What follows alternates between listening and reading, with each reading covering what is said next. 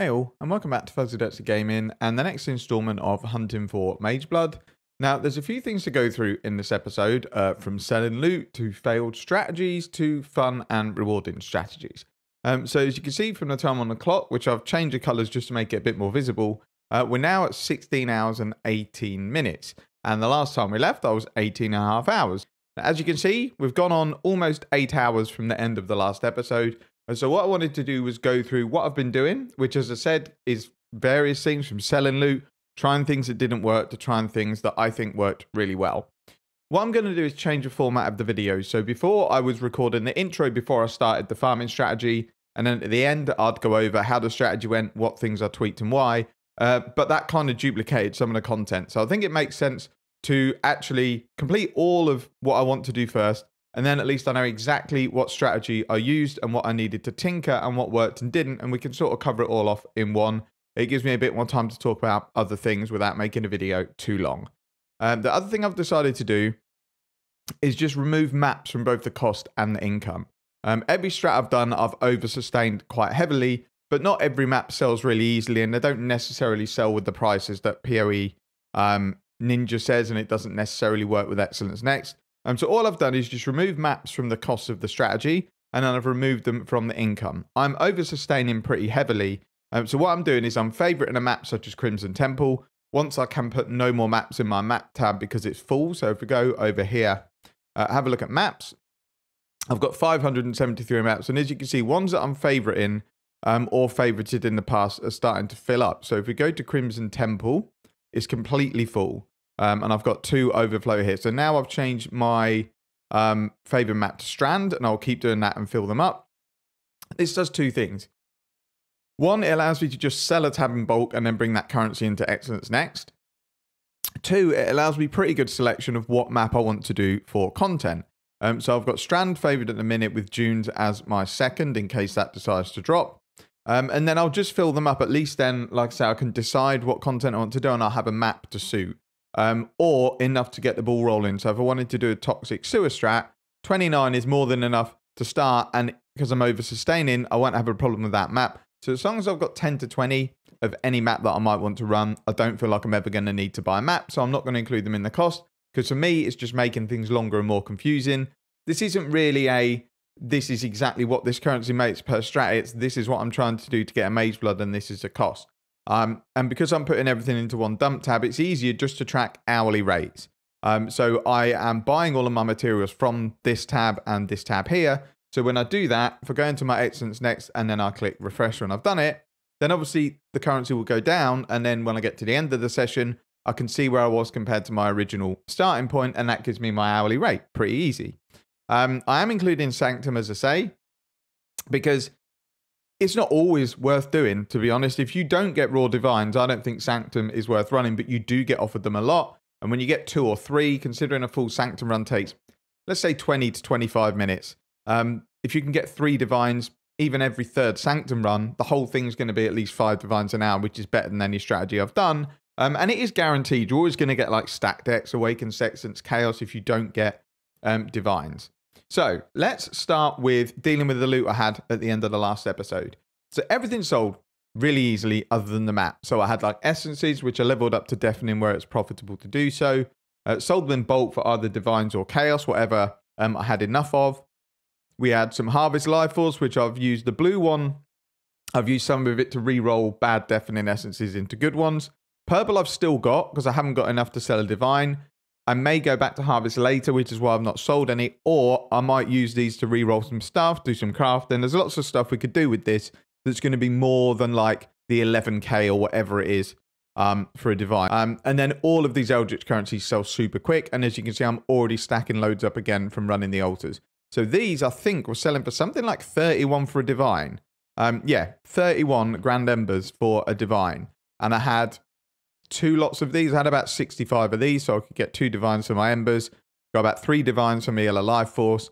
I had um, a few tainted fusions and currencies and things like that. All this stuff sold really well and really quick. Same with sextants. They sell in bulk for about, I think it's about 70 for a divine. Yeah, 70 for a divine.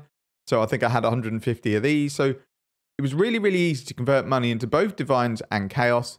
And then if I got over 2000 chaos, I was just listing it up for divines and selling it, and people whisper you straight away. Um, so these were like when I sold them 510 cows for two divines was flying off the shelf.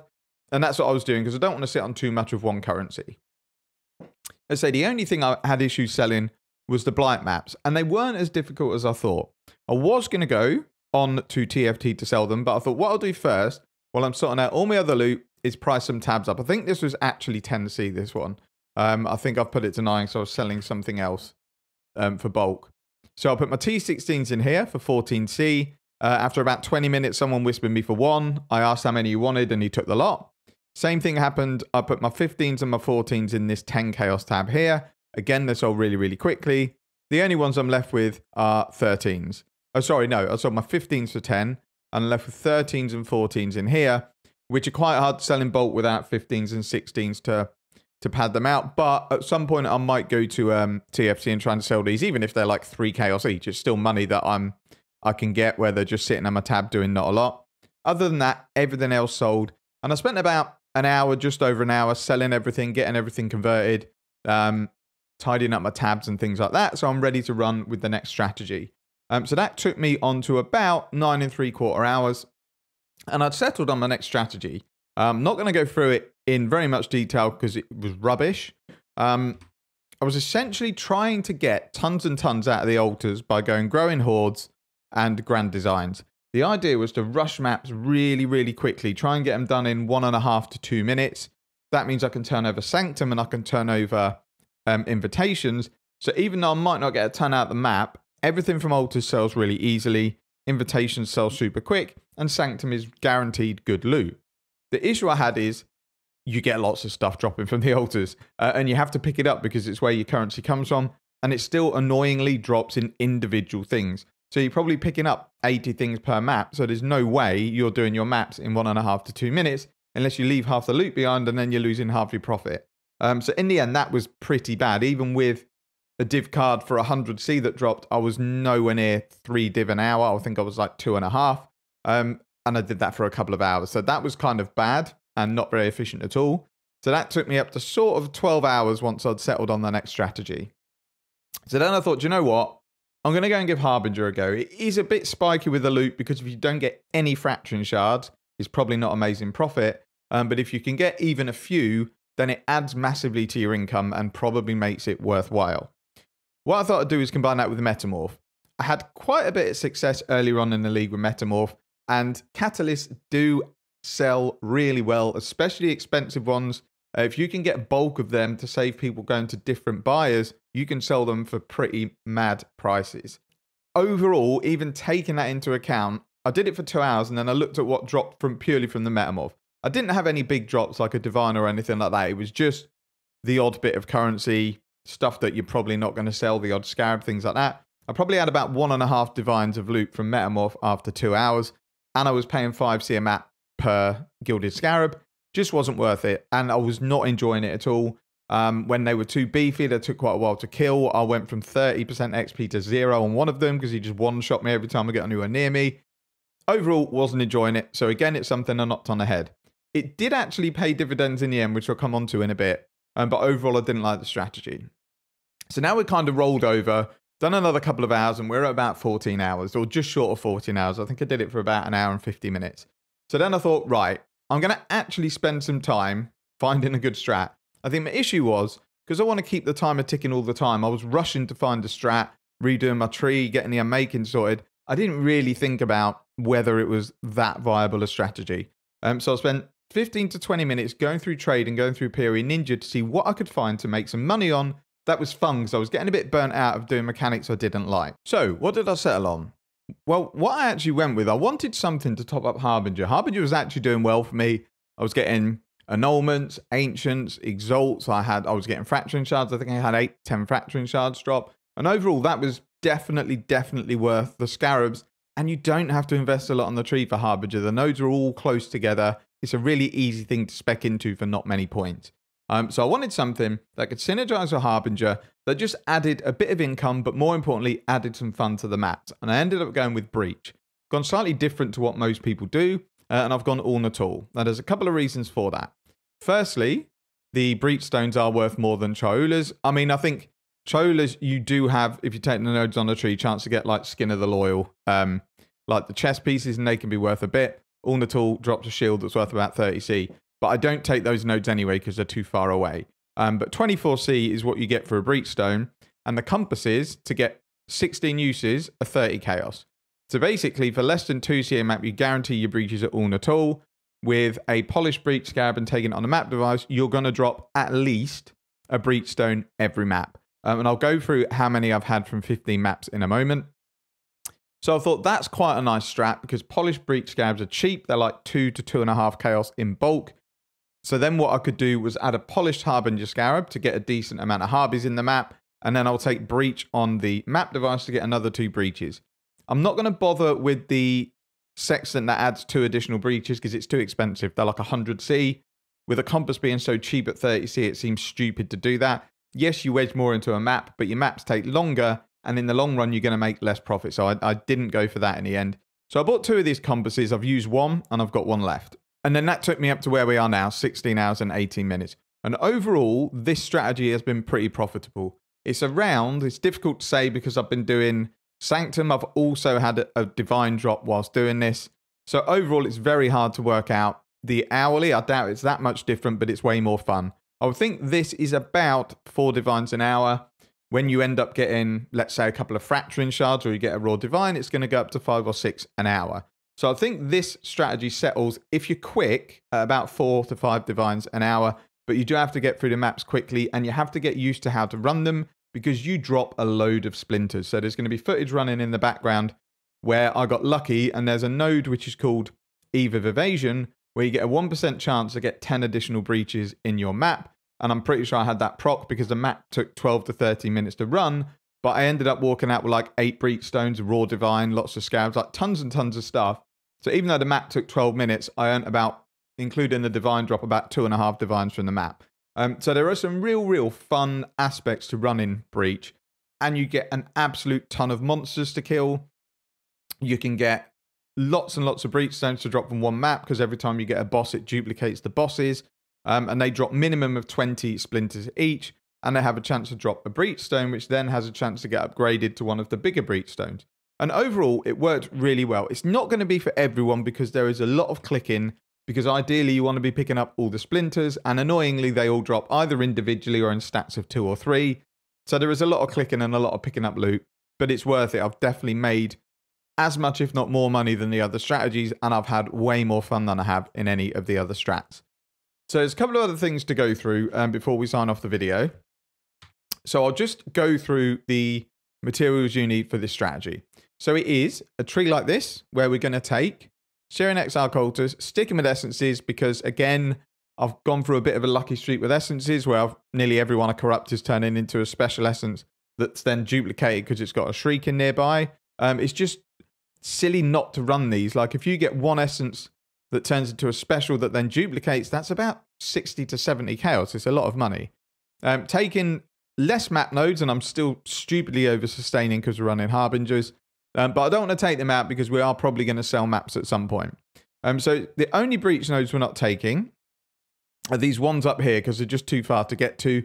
If you're running truly, you would take these because they give you a chance to drop a breach unique item or higher chance. Whereas in Uul-Netol, I think it drops per what you're running. So Uul-Netol will drop the shield or whatever. Chayula, I assume, drops a chest piece. I don't need to take those, and they're too far away. What I've also added, however, I keep forgetting to put Niko missions on the map device, so I might start sticking a scarab in, um, is this one here, which is packed with energy, which gives you 15% movement speed and 35% damage per um, kind of sulfite vein that you get in the map. And then this one here turns your sulfite into azurite at 10% of the time. Um, so you might end up just with a random 1300 azurite that you can buy a few resonators with and you can sell them. Um, it's only five points to pick up these nodes. Um, and that's why I dropped the map nodes to pick these up. But I keep forgetting to activate my Niko missions. And I have an absolute ton of them. I've got 143 to use. So I need to keep remembering. Um, I think the issue is they don't seem to stay like your... So if I select Breach on my map device, that stays every map the masters seem to reset. Um, unless I'm just being unlucky or doing something stupid. I'd click it, then forget to do it the next map, and Niko's not there. So if I keep forgetting to do that, I'm just going to buy some rusted sulfite scarabs so that I know that Niko's going to appear in the map. But that's kind of cost I don't need to incur because I have so many missions. Um, like 143 red missions. It seems silly. Um, the scarabs do bring benefits in that they give you more sulfite. So when they do turn to azurite, you get more azurite. Uh, the other things to know, I mentioned about Metamorph that it paid dividends in the end, and that's because I went to Tane's lab, used the organs that I had, and I had two raw divines drop. So that obviously adds to the Metamorph profit. I still don't think it makes it worthwhile running, but it was a nice little bonus to help me get back to a decent return per hour since I did start to drop off trying these strategies uh, that didn't work. I had a really good Sanctum run where I got three divines and lots of other loot. It's probably like almost four divines worth of loot from Sanctum. And I had my first raw divine drop since the first episode, where I think after a couple of hours I had one drop, and then I had another one drop. So yeah, I had to wait another 14 hours for my next divine to drop in a map. And I have had lots of exalts drop. So I've been a bit unlucky with divines. And I think my luck is starting to turn because my essences are now starting to corrupt well. I'm finding divines in Sanctum. I'm getting better drops. I think I was probably a bit unlucky with my overall drops in the earlier episodes, which is why I think I really struggled to get over that like three and a half to four divines an hour. But this strategy I definitely have, but I don't know if the returns are any better or I've just been lucky with the drops that I've had. But I'm loving this strategy, so I'm going to carry it on. So what I'm going to do is continue this strategy and then liquidate my stash so that I can buy my first um, apothecary card. I have enough in kind of loot, but I doubt I could liquidate the 61 divines I would need because a lot of this is probably stuff that I want to wait and sell in bulk. So what I'll do is do this strat for another, use my other compass, so do another 15 maps, and then I'll easily have enough. So we'll liquidate, buy the first apothecary card, and then we'll start the next session, next video, and start farming for the next one. So I mentioned I'd just go through the loot in terms of what you get out of these breach stones. So I've run 15 maps and I'm sitting on 28 full breach stones, but I did have the map where I got 10 breaches and I think I got eight from it. So if we just had it was one, even if you didn't get that, it's still 21 breach stones from 15 maps. And two of the maps I ran in city squares, which I shouldn't have done because the breaches were terrible. Half of them were taken up by buildings. Um, but yeah, so you get well over a breach stone per map. So let's say you get around 30 chaos back per map for this and it costs you two chaos basically for your compass use. It's actually a bit less than that, and 2.2 chaos for your scab. So let's say 4C and then 4C on the map device. So you're spending 8C on the map device and you're getting about 30 back. So 22 chaos profit per map from just running this breach. As a side note to Harbingers, I think has worked quite nice. And then if you have a look at fracturing shards, we've got eight and it's valuing them at 63, but that's not right because we're going to wait until we get a fracturing orb and sell that, and there's six divines.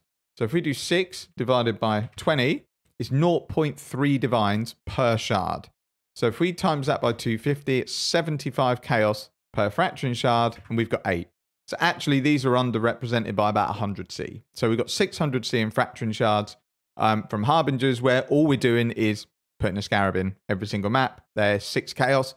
So if you look at this, I've done about, I would say, 40 maps with Harbinger, and I've got this back just from Fracturing Shards. So it's definitely paying for itself.